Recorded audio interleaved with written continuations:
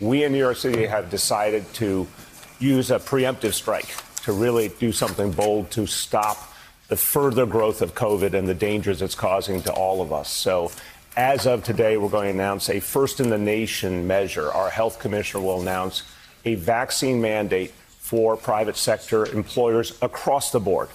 All private sector employers in New York City will be covered by this vaccine mandate as of December 27th. We're going to have some other measures as well to really focus on maximizing vaccination quickly so we can get ahead of Omicron and all mm-hmm. the other challenges we're facing right now.